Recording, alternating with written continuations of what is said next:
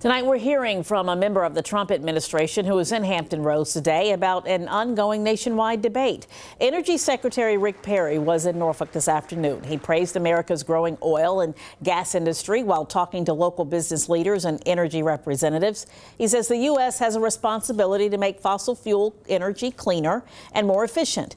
But Perry is the former governor of Texas, so we asked him to weigh in on the immigration debate.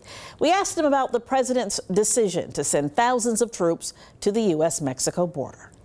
Every time you can send a message to somebody that's got uh, the intent to cross our border illegally, whether it's uh, while they're a thousand miles away or they're one mile away, I think is an appropriate thing to do.